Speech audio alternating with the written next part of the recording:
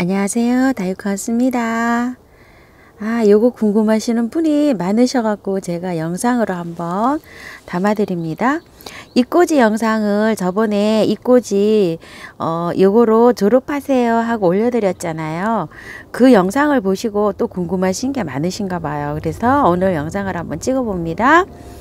요렇게 이꼬지를 어, 요거 요 아이는 겨울 내내 요 자리에 있었어요. 장소가 제가 그렇게 어 여의치가 않아 가지고 요 아이들도 한 1월 2월 달 정도 1월 달 정도에 입고지 한 아이거든요. 요런 아이들이. 이렇게 해서 있고 요거는 작년 가을에 해놓은 아이들이에요. 그런데 요거 입고지 상태를 한번 잘 봐보세요. 요게 상토가 아니고 요렇게 돼 있죠. 저는 상토에 하지 않고 그 재활용하고 나온 거기 위에다가 한다고 제가 말씀드렸잖아요. 다육이를 분갈이 하고 나오면은 그 흙 있죠. 재활용. 그거를 깔고 위에다가 약간 어, 마사를 얹은 다음에 거기다 입고지를 하는 편이에요. 그게 조금 이따 아마 영상에서 또 설명을 드릴게요. 요런 아이들은 여기에 있었고요. 밖에 있는 아이를 지금 보러 나가실 건데요. 그 아이는 쭉 겨울 내내 이 자리에 있었어요. 이 자리에. 이렇게 한번 밖으로 보러 나가 볼게요. 영상에도 올려드린 그 아이인데요. 밖에 있다가 그 자리에 그 밝은 빛만 들어오는 자리에 겨울에 내내 거기 있었어요. 그래서 이 아이들이 지금 제가 이렇게 햇볕을 쐬러 지금 나오고 있어요. 이렇게 짱짱하죠. 이렇게요. 요렇게 그 잎꽂이도 있죠. 햇볕을 보고 자라는 게 좋아요. 짱짱하게 자랍니다. 그래서 겨울에도 중간중간에 이렇게 영상으로 올라가는 날 3도 이상이면은 이렇게 밖으로 나왔어요. 이 아이들이. 이런 식으로 밖으로 나와 있고요.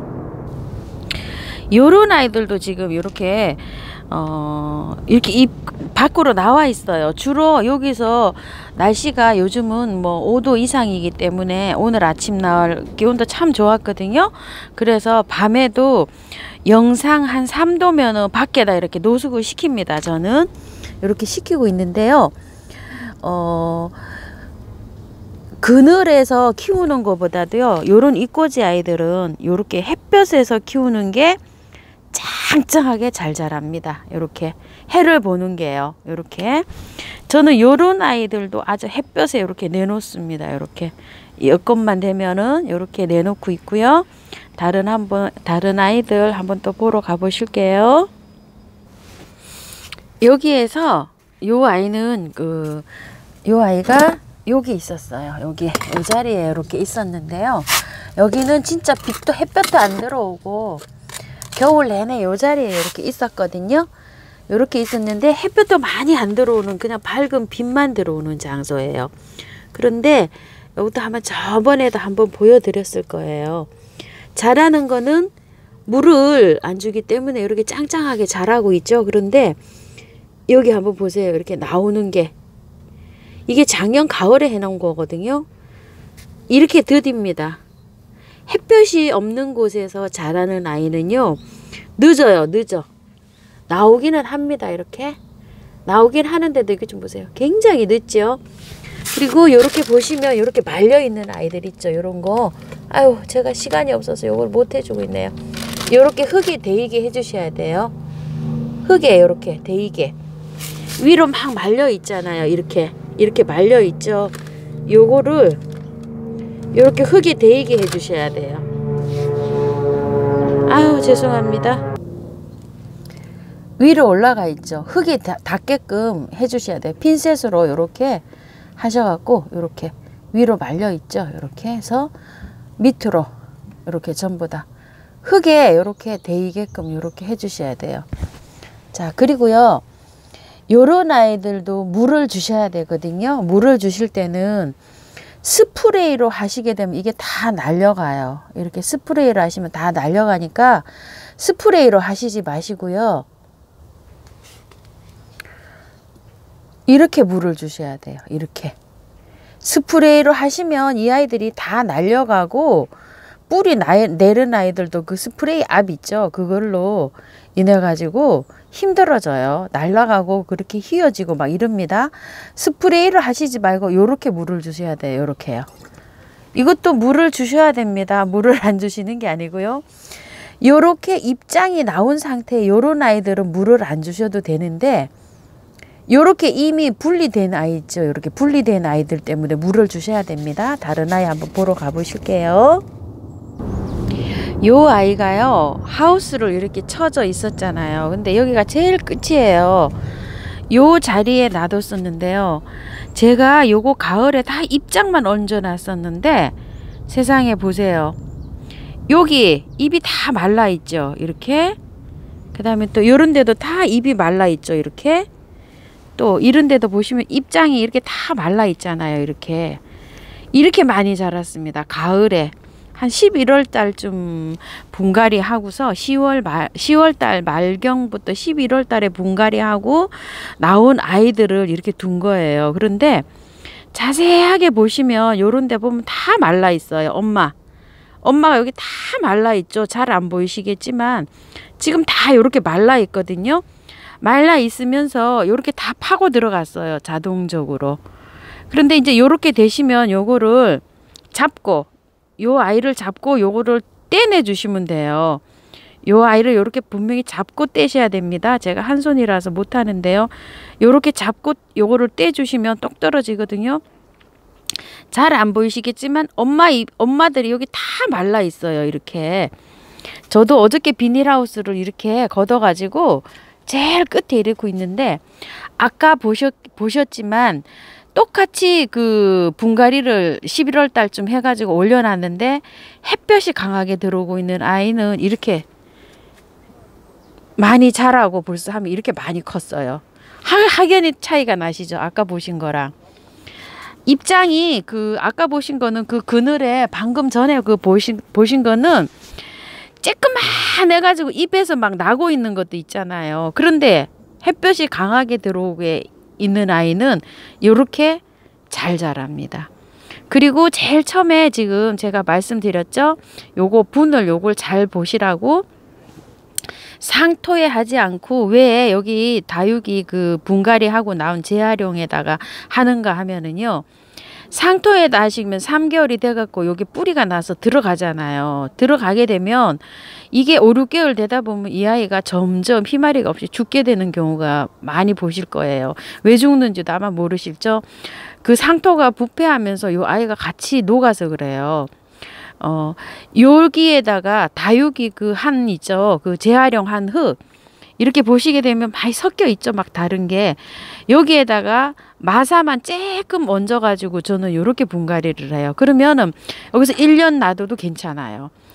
여기서 뿌리가 이렇게 파고 들어가 갖고 다시 분갈이를 안 해줘도 돼요.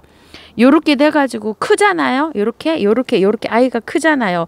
큰 아이만 쏙쏙 뽑아서 저는 이제 다시 정식을 해주는 편이에요. 요렇게 하면 엄청 좋아요. 그래서 어, 상토에다 하지 않고 그 재활용 한 다육이 그 재활용 흙에서 나온 거에다가 이렇게 분갈이를 해줍니다.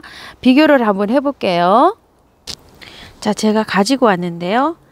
햇볕이 잘 들어오는 쪽. 요것도 햇볕이 많이 들어오는 쪽에 더 많이 자랐고요. 요쪽에는 조금 덜 자랐죠? 이 아이도 한번 보세요. 이제 요 똑같은 시기에 했는데도 이제 이렇게 자라고 있죠. 햇볕이 많이 쬐고 있는 아이들은 이렇게 많이 나왔어요. 요것도 다 작년 가을에 놔둔 아이예요. 요런 아이들. 그런데 이렇게 늦어요. 이거 좀 보세요. 이렇게 늦죠? 늦고 있죠. 그늘이 햇볕이 덜 들어오는 아이들은 이렇게 늦고 늦어요. 이렇게 늦고 요런 아이들은 제가 그냥 입장을 꽂아 놓은 아이예요. 이렇게 늦죠? 이렇게 보시면 햇볕을 쐬고 자란 아이는 이렇게 잘 자라고 있잖아요. 이런 차이가 있습니다. 그래서 어린 아이도 햇볕을 쐬주면 더 잘 자란다. 이걸 아마 이 영상을 보시고도 아마 느끼시겠죠. 그리고 상토에다 하지 않고 저는 그냥 요거에 분갈이 재활용하고 난 거기에서 거기를 거기에다가 요거 합니다. 여기 전부 다 보시게 되면 제가 이렇게 해가지고 상토를 사용하지 않고 여기다 이렇게 하는 걸 알 수 있습니다. 자, 이렇게 해서 요것도 어, 2월 달에 분갈이 하고 난 다음에 이제 한쪽에 놔뒀다가 요렇게 이제 나오기 시작해서 어저께 제가 음, 고기 그 재활용한 흙에다가 여기 모래 있죠? 산모래 약간 얹어가지고 요렇게 해가지고 요런 식으로 산모래 약간 얹었죠 이렇게? 이런 아이들은 벌써 하면 이렇게 막 뿌리가 나왔어요. 근데 뿌리를 밑으로 넣지 않아도 요렇게 얹어 놓으면은요 스스로 밑으로 파고듭니다 자기네가 알아서. 요런 식으로 입꼬지를 이렇게 하고 있답니다 아 그리고요 시청자님이 요거 호야에 관해서 물어보셨거든요. 호야가 힘이 없고 잎사리가 쭈글거리면서 축 처진다고 하시는데요. 저도 그렇거든요. 요렇게 쭈글거리고 요 호야가 꽃이 피려고 하면은요 이렇게 또 물을 좀 아껴야지 이게 가지발 선인장처럼 물을 아껴야지 꽃이 피는데요. 이게 제가 어 제 생각 제 저의 거, 저의 호야는 이게 따뜻한 데 있어야 돼요. 호야가요. 이게 보기에는 줄기가 이렇게 강해 보여 가지고 이 아이가 그 추위에 강해 보이는데요. 이 아이가 아마 최저 온도가요. 한 10도 정도 될 거예요. 그런데 제가 겨울에 요 자리에 있었거든요. 어, 안에 거실이나 베란다로 들어가면 좋은데 제가 장소가 여의치 못해서 여기다 뒀는데 제가 5도에 맞춰줬잖아요. 그 추위 때문에 이런 것 같아요. 추위가 이, 이 아이가 체조 온도가 어, 높은데 그 체조 온도를 그 견디지 못해서 냉해를 입어서 이런 것 같아요. 제 거는 제가 그렇다고 생각이 듭니다. 이것도 좀 물어보신 분이 계셔가지고요. 저는 그렇게 제, 제 호야는 아마 그렇다고 생각을 합니다. 그래서 제가 이게 너무 미안해가지고요. 저는 이렇게 해서 회복을 시키는데 물을 자주 줍니다. 이제 물을 자주 주면서 이렇게 해서 제가 유박을 얹어 놨어요. 이렇게. 어, 작년, 재작년에도 이 아이가 굉장히 이렇게 힘들어 했어요. 유박을 이렇게 제가 얹어 놓고서 물을 이제 저 자주 줍니다. 한 일주일에 한 번씩. 이거 이제 회복을 시키려면 그럴 수밖에 없거든요. 그래가지고 회복을 주는데 아마 저랑 환경이 비슷하지 않았는지 어쩌는지 질문하신 분이 그게 궁금합니다. 제 호야는 그렇습니다. 제 호야는 내가 제가 너무 춥게 키워가지고 그렇다고 생각이 듭니다요. 자 그리고 어, 유박을 그 이제 지금 말씀을 드렸잖아요. 아까 호야도 이제 회복을 하려고 유박을 제가 줬다고요. 그런데 걸음은 새로 분갈이 한 한테 안 하면 안 되고요. 이 아이도 지금 이제 이렇게 날이 따뜻하니까 시계초잖아요. 이렇게 꽃망울이가 오고 있어요. 벌써. 그래서 제가 이렇게 속에 있는 거 있죠? 이렇게 이 속에서 줄기 줄기를 다 이제 요렇게 해서 줄기가 마른 줄기가 있어요. 요렇게 요런 마른 줄기를 이렇게 다 끊어내고요. 이렇게 다 끊어냈습니다. 지금 끊어내고 이게 여기서 지금 5년째인데요. 분갈이를 할 수가 없어요. 제가.